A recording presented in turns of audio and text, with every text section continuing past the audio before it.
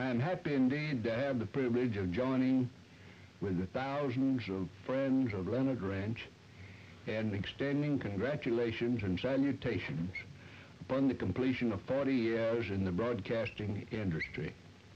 He is recognized as a national and international leader in the administrative field, and his capacity has made him the friend and advisor of presidents.